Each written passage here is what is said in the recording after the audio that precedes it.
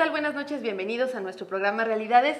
El día de hoy les tenemos un programa atípico porque si bien estamos cotidianamente platicando sobre estos temas de interés para la sociedad, bueno, hay algunos que son a veces un poco más difíciles de comprender y es por eso que el, tema del día de hoy va a estar dedicado a la robótica. De esta manera les damos la bienvenida a Realidades, este programa que realizamos gracias al esfuerzo de Ingenia TV en la Facultad de Ingeniería y que se transmite por este canal de TV nuestro canal de la televisora y sistema de radio y comunicaciones de la Universidad Autónoma de Querétaro. Quiero dar la bienvenida con mucho gusto y gracias por aceptar esta invitación al programa al doctor Gerardo Israel Pérez Soto. Él es ingeniero, eh, doctor en ingeniería mecánica y actualmente es quien coordina los equipos de competencia en robótica en la Facultad de Ingeniería. Bienvenido. Muchas gracias por la invitación. Gracias, doctor Gerardo. Y también está con nosotros, que esto es una sorpresa además bellísima, cuando platicábamos por teléfono de, del equipo que hoy venía a la televisión, nos comentaba el doctor Gerardo de una persona que trabajaba en psicología. Entonces es algo muy, muy curioso que vamos a estar platicando hoy. Así damos la bienvenida a la maestra Damara Merlo Espino. Ella es eh, docente de la Facultad de Psicología y de Bachilleres. Es maestra en ciencias y bueno, hoy nos va a estar acompañando para darle otro enfoque al estudio de la robótica. Bienvenida maestra, gracias. Hola, muchas gracias. Em, me gustaría que empezáramos con este tema, eh, primero a que nos platiquen tal vez un poquito a modo de introducción, por qué acercarse al mundo de la robótica. A lo mejor yo creo que a modo de, de preámbulo, algunas generaciones, a lo mejor hablo por la mía, empezamos nuestros acercamientos con los supersónicos, cuando veíamos a un robot que podría hacer labores domésticas. Y siempre vimos eso como algo sumamente lejano. Después, gracias también igualmente al cine, que, es bueno, una herramienta y un todo, pues lo que implica el séptimo arte, echar a volar la imaginación, tuvimos otros acercamientos al mundo de los robots, desde la imaginación también, desde la fantasía. Y siempre quedó en nosotros la duda de saber si realmente la sociedad y la tecnología, este desarrollo iba a llegar hasta ese punto, ¿no? Claro, definitivamente que la robótica tiene mucho que ver con la ciencia ficción. De hecho, pues la primera vez que se menciona esa palabra de, robot, de robota fue en una novela de ciencia ficción de los años 20. Después la conocimos como tal, como lo conocemos ahora la robótica, eh, por Isaac Asimov en su novela de Yo Robot. Todos han visto la nueva versión de esa, de esa película. Eh, definitivamente que es, una, es un objetivo todo lo de ciencia ficción para la robótica que se está realizando, para la robótica aplicada.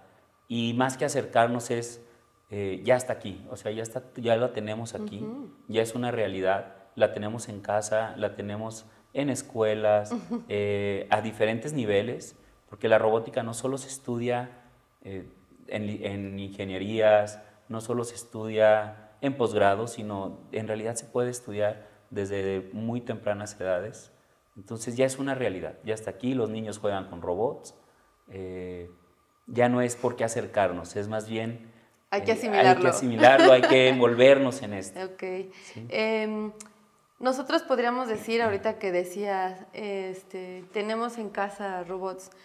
Actualmente hay una serie de dispositivos que se están vendiendo y aparatitos en donde tú puedes darle la orden a este aparato que pones en el centro de tu casa, en donde llegue el sonido de tu voz, a darle una instrucción eh, a través de Bluetooth me parece que se pueden conectar y tú le puedes decir que encienda la cafetera, que encienda la lavadora, que... Claro, esto ya, te digo, ya Esto ya son los robots, ¿no? Sí, lo que veíamos en las caricaturas que tú comentas, los supersónicos, pues ahorita ya hay robots aspiradoras que pueden andar mm. por toda la casa este, aspirando mm. sin dañar muebles, eh, se puede reprogramar para que enciendan a cierta hora. O sea, estos robots se les denomina como robots de asistencia pero ya los hay, o sea, ya, ya es una realidad. Lo que comentas, pues tiene que ver con las tecnologías, la conectividad. Eh, viene la industria 4.0, que, que, además, eh, al decir viene, también es un error, ya está aquí, ya, ya, nos alcanzó, y eso también es una realidad de la conectividad. Una de las ramas de la industria 4.0 es esa conectividad que uno puede encender cualquier electrodoméstico con los celulares. Eh, ya, los, ya venden esos dispositivos, es decir, eh, la parte de domótica ya está aplicada. Doctor, y antes de darle la palabra a la maestra Damara, brevemente platíquenos por qué se acerca de esta manera a incentivar a más jóvenes, vamos a hablar más adelante de esto, a que empiecen a indagar por el mundo, el rumbo de la competencia con la robótica, de experimentar en estas áreas. ¿Por qué ese cariño hacia esa rama? Eh, bueno, más que nada la robótica abarca diferentes ramas, o sea, no nada más es la parte de lo físico que uno ve, o sea, los fierros, la parte mecánica, también está la parte electrónica, la parte de programación. Es un área muy amplia y multidisciplinaria por sí sola. Y la parte de las competencias eh, la hemos usado como un puente para acercar más a los muchachos, incentivarlos. Inicialmente, pues se incentivan de manera de, ah, voy a ir a una competencia de robótica. Después esa competencia de robótica pasa a una etapa nacional o una etapa internacional y de repente los muchachos ya están en, competencias internacionales de robótica. Eh, esa es inicialmente su motivación. Posteriormente eh, me ha tocado ver que dicen, no, pues ya no quiero competir, me gusta la parte de investigación, yo quiero seguir trabajando, pero le doy ese espacio a que vayan a competir a otros compañeros. Desde el área de la investigación. Desde el área de investigación. Entonces, más bien la parte de competencias lo utilizamos como una manera de estimular a los muchachos a que se acerquen. Nuevamente de las diferentes carreras de la Facultad de Ingeniería, no nada más de una. Y bueno, con esto podríamos empezar a platicar. Eh, maestra Damara, igualmente gracias por estar aquí. Em, bueno, la maestra Damara tiene además una interesante eh, carrera y maestría en en, estudios que la verdad preferiría que usted nos comentara de qué se tratan, que se empiezan a relacionar un poco con esto desde el campo también de la pedagogía. Estaría muy interesante que empiece como a platicarnos por qué un área o una rama, una disciplina como esta, que es la suya, empieza a acercarse también, que a veces nos han probablemente nosotros mismos identificado en diferentes em, rubros, por ejemplo, ¿no? las ciencias duras con las ciencias sociales o las ciencias humanas, pareciera que no podrían, pudiesen hermanarse. Y bueno, con esta experiencia nos gustaría como también aprender un poco, ¿no? Bueno, pues eh, de licenciatura soy psicóloga educativa y en maestría eh, tengo una maestría en innovación en entornos virtuales de aprendizaje-enseñanza. Esto es todo lo que tiene que ver con diseño tecnopedagógico en el entorno educativo. Eh, desde que era estudiante me acerqué a trabajar con la Facultad de Ingeniería en diseño y bueno, pues llego con lo de robótica y hay un punto eh, pues de conexión entre estas áreas. Mm, mi área puede dar eh, toda la cuestión didáctico-pedagógica de cómo trabajar determinados contenidos, determinadas áreas en lo disciplinar, ¿no? computación, toda la parte de física, de mate que lleva la propia robótica, pero también las cuestiones didáctico-pedagógicas. Otra línea en la que intervengo es en el seguimiento de procesos cognitivos, es decir, cómo la robótica puede potencializar habilidades de pensamiento, por ejemplo, pensamiento crítico, eh, que implica toma de decisiones, solución de problemas, y bueno, es parte del trabajo que estamos realizando dentro de la facultad. Oigan, y luego a veces uno piensa que las personas que nos pudiésemos dedicar a esto nos podemos volver más introvertidas. Eh, ¿no? A veces hay esa idea de que a las personas que tienen este gusto por estas disciplinas, o como ahora los jóvenes que se autodenominan gamers, por ejemplo, ¿no?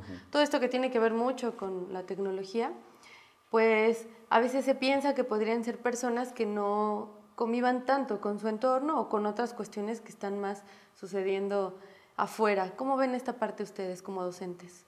Bueno, desde la parte que me toca ver a mí, desde la parte de licenciatura, pues todo lo trabajamos en equipos. Y esos equipos, bueno, ya desde ahí lleva una convivencia. Por Ayuda mucho. Sí, claro, hay una relación eh, académica y, todavía más que no siempre son de las mismas carreras. El equipo los conforma, por ejemplo, el de robótico humanoide, pues hay de electromecánica, automatización, matemáticas, este, maestrías, entonces están relacionándose a diferentes edades, diferentes eh, sistemas, e, o más bien diferentes programas educativos, ¿sí? Entonces, a la hora que van a competir también se relacionan con otros equipos. Entonces, en realidad, pues nunca están como apartados o, solitarios, porque pues todo esto de las competencias justamente también desarrolla pues esas habilidades de comunicación. Y bueno, desde el punto de vista de los niños, yo creo que pues, Damara nos puede comentar algo al respecto. Sí, para complementar este punto, creo que no hay como una personalidad específica para involucrarse dentro de estas áreas. Está el estereotipo, pero eh, en realidad em, no, porque justo es una herramienta que puede potencializar estas cuestiones de trabajo colaborativo y, eh, pues bueno, desarrollar, por ejemplo, como ya comentaba el doctor Gerardo, habilidades comunicativas. Cuando estamos trabajando con niños de, cuatro años, les pedimos mucho esta cuestión de, integrarlos en equipo, eh, de que asuman determinados roles y que vayan trabajando esta parte. En lugar de, aislar, por ejemplo, esta, estas herramientas, las utilizamos para, para favorecer. Cohesionar un poco más. Con esto que adelantan, nos gustaría mucho saber su opinión de cuál es el estatus o el estado actual de estos estudios o, o la elaboración de cualquiera de estos proyectos inmersos en la robótica en nuestro país. Algunas ocasiones sucede y lo vemos en los medios de comunicación alternos, que pueden ser las redes sociales, ciertas denuncias de personas que en diferentes ámbitos pueden ser este tipo de competencias, puede ser deporte, hay jóvenes ajedrecistas, em, chicas que están bailando increíblemente, cuerpos de danza, que luego no logran catapultarse a nivel internacional porque no hay los apoyos. Eh, eso por un lado. Y por otro lado, estamos malamente a lo mejor acostumbrados, una cierta generación, a ver en las noticias a países eh, de Europa del Norte, de Asia, que, bueno, tienen siempre los primeros lugares. Afortunadamente aquí en la universidad sabemos que, y ya más adelante nos va a poder platicar, estos logros tan bonitos que ha tenido la universidad, pero en general, ¿cuál es el estado en el que estamos como mexicanos? Bueno, resulta que hace poco salió una, investigación en donde México es de los países que más aportaciones hacen en términos de mm. publicaciones científicas en el área de robótica. Estamos dentro de los primeros lugares a nivel internacional. Tal vez no se lleva a cabo el desarrollo como tal muchas veces, es decir, el desarrollo tecnológico, porque hay que, hay que diferenciar un poco entre el desarrollo científico y tecnológico.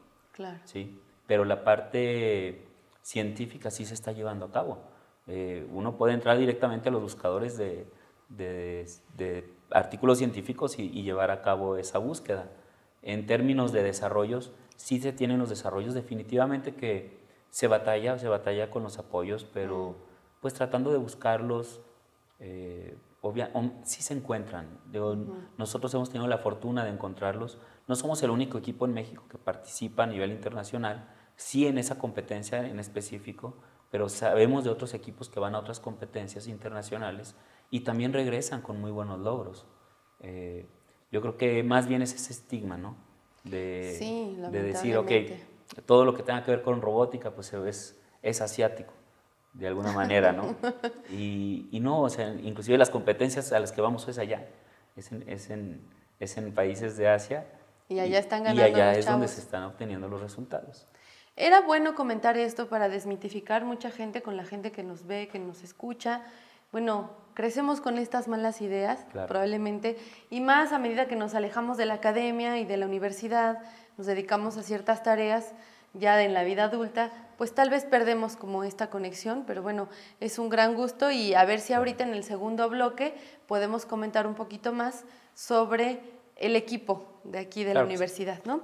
Pero bueno, en, hablando de esta misma cuestión, eh, ¿cuál sería el beneficio para la sociedad en este caso? ¿no?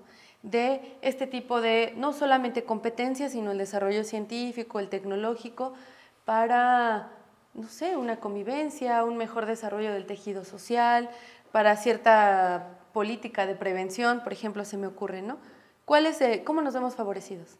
Eh, bueno, de entrada estamos en una sociedad, estamos en el siglo XXI, entonces tendríamos que estar pensando en, desde el lado educativo, por ejemplo, en generar eh, cierto tipo de habilidades eh, a nivel cognitivo y, por ejemplo, de personalidad, que por medio de la robótica, de la robótica, por ejemplo, pedagógica, eh, se pueden favorecer.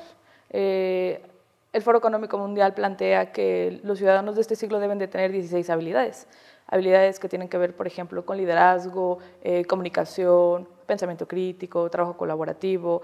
y y desarrollo disciplinar sobre, por ejemplo, saber matemáticas, saber ciertos conocimientos generales. Por medio de la robótica se pueden trabajar este tipo de cosas. Entonces, eh, pues está este impacto en la educación y trabajando este tipo de habilidades puedes eh, también em, hacer ciertos aportes sociales en el sentido de que pues tienes ciudadanos con determinado tipo de pensamiento, determinado tipo de habilidades que vas desarrollando, eh, que se ocupa para la vida educativa, para la vida personal y para la vida social.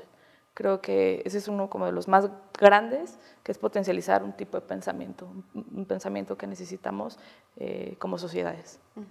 Y también esta idea, ¿no? De decir, bueno, si podemos, claro que en México se puede desarrollar, como que también podernos reinventar y acercarnos a estas disciplinas entre todos creo que también eso es un estímulo, ¿no? Para saber que se pueden lograr muchas otras cosas, no solamente primeros lugares en, en robótica, ¿no? Primeros lugares también en transparencia, en, en, un entorno de paz, en reducir los niveles de violencia, ¿no? Yo creo que va ligado. Pero vamos a hacer una pausa por ahora y me gustaría muchísimo que al regreso pudiésemos platicar también de cuáles son estos robots infiltrados en nuestra vida cotidiana que a lo mejor ustedes con una perspectiva distinta podrían platicarnos cómo se está usando, por ejemplo, sabemos que en la medicina o en algunas plantas industriales, ¿cuál es esta cuestión que nos facilita el mundo de la robótica? ¿no? Podríamos platicar un poco de eso, nosotros estamos haciendo realidades aquí a través de TV Vamos a una pausa y regresamos.